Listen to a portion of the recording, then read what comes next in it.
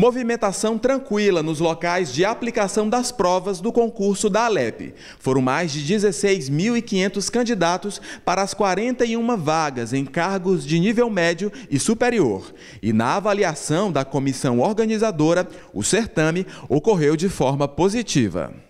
Os problemas que aconteceram são problemas corriqueiros, são problemas do dia a dia mesmo de um processo seletivo, de um concurso, isso aí é normal. Candidato chegando atrasado, candidato que o celular tocou, mas fora isso, nada nada a relatar. Com relação às provas, as provas também não tiveram nenhum problema com relação às provas, reclamação de prova. O nível da prova está compatível com o evento, com o concurso, é um concurso público, né, para selecionar os melhores, então não pode ser uma prova qualquer. Ao todo foram 36 centros de aplicação das provas, alguns deles aqui na Universidade Federal do Piauí, o principal local de realização do certame em Teresina. Muitos candidatos que participaram do concurso avaliaram o nível da prova.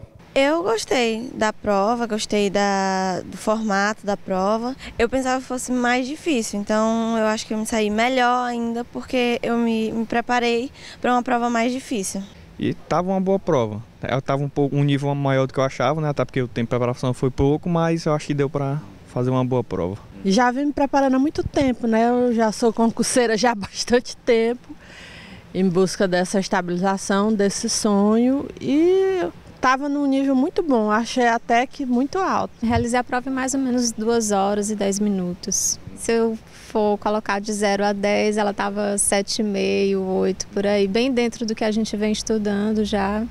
Bem tranquilo. Acredito que eu fiz uma boa prova. Com fé em Deus eu vou passar. O gabarito já está disponível para os candidatos. Todos devem ficar atentos às próximas fases, contidas no edital do concurso. Temos eh, os, cursos, os cargos de nível superior, né? vai ter a avaliação de análise de título e somente isso, né? Tá, as datas estão no, no edital.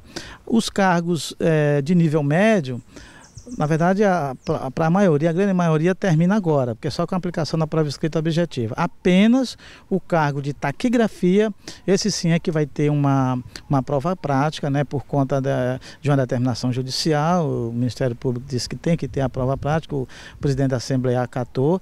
É, o candidato pode, é, depois de disponibilizar o gabarito, ele pode interpor recurso sobre as questões, né, ele vai ter análise dos recursos, depois sai um gabarito definitivo e aí sim a partir disso é que sai a classificação dessa primeira etapa, que é a prova escrita objetiva.